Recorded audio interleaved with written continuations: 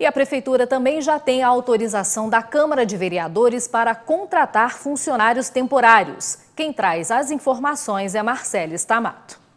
Olá, Luciana. Pois é, após o projeto de lei ter sido retirado de pauta no último dia 10 de julho para reformulação, foi votado nesta segunda-feira pela Câmara dos Vereadores o pedido da Prefeitura que visa a contratação temporária de profissionais na área de educação.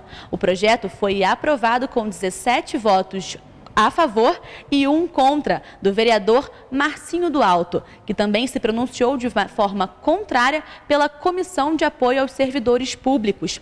Em nota oficial enviada pelo Legislativo, o vereador justifica que o auxiliar de, de sala não tem habilidade suficiente para cuidar de crianças com necessidades especiais e questionou também o salário de remuneração considerado muito baixo.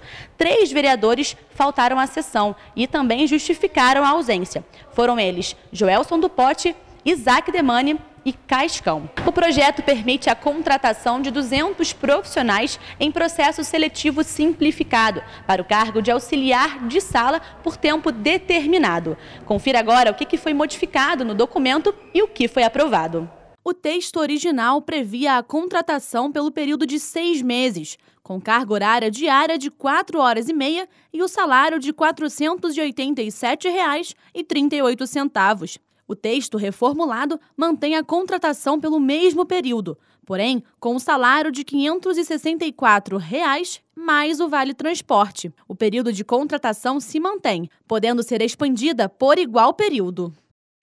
Em nota, a Prefeitura informa que na última sexta-feira, 20 de julho, comemorou a convocação dos concursados de 2015 das vagas imediatas para a Secretaria de Educação, praticamente zerando a carência de professores na rede municipal de ensino. E que esclarece que não enviou nenhum projeto de lei para a contratação temporária de professor.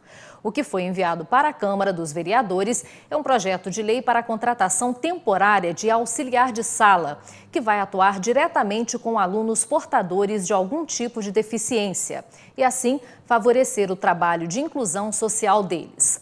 Atualmente, cerca de 20 alunos não estão incluídos na rede por falta deste profissional e por este cargo não constar no concurso. A municipalidade entende ser de grande importância a contratação desse tipo de cargo para prestar um serviço ainda melhor a todos.